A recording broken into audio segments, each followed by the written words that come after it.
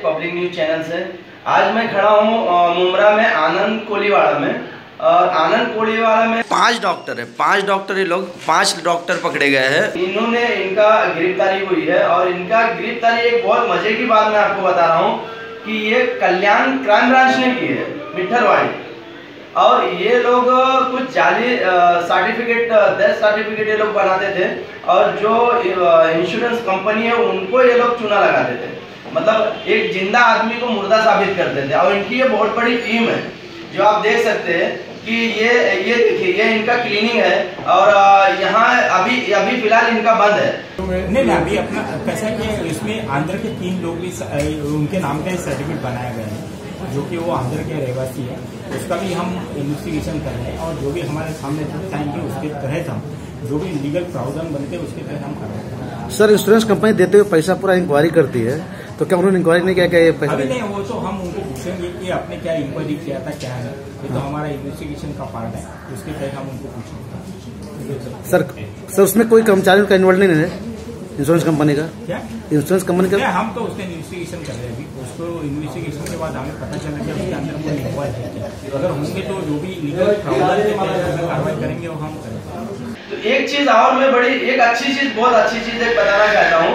कि आज हमारे मुमरा खोसा का जो काम है चाहे वो अभी देखो डुम्बेवली का एक काम हुआ, जो हथियारों के साथ पकड़ा गया, आज मुमरा का ये इतना बड़ा काम हुआ है तो ये तो ये बड़ी एक अच्छी चीज़ है कि कल्याण क्राइम ब्रांच कर रही है। तो हमारे थाना के क्राइम ब्रांच, जो हमारे थाना एरिया में आता है, ये लोग क्या कर रही है थाना पुलिस क्या कर रही है? तो ये ये एक बड़ी सोचने वाली बात है।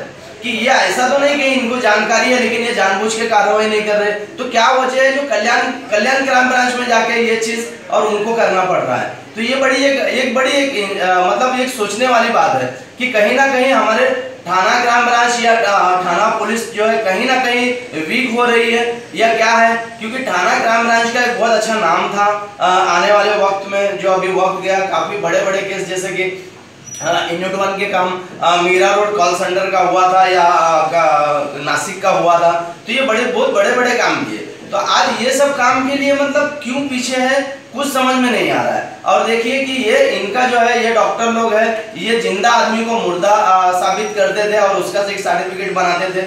फिर इंश्योरेंस कंपनी को ये लोग देते थे, फिर उनसे मोटी रकम ये लोग ऐटते थे।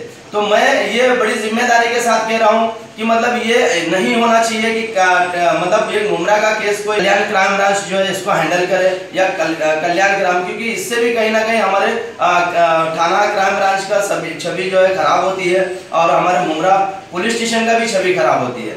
मैं फिर एक नई न्यूज़ के साथ हाजिर हूँगा जब तक के लिए लाल मोहम्मद शेख नमस्कार।